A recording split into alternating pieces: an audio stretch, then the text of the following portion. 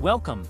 In this video we are going to show you how to perform the CSC change procedure on old Samsung Exynos devices. With this procedure you can change the device's carrier profile by changing the country-specific code.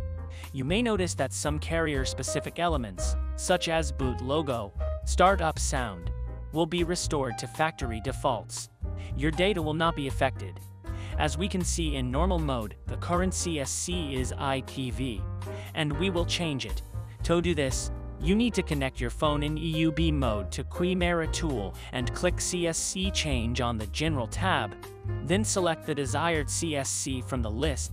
Once done, click on Start.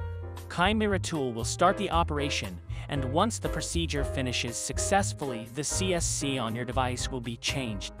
Now, Disconnect the phone from your computer and reconnect the battery then power on the phone. The phone will boot up and now it is ready to be used.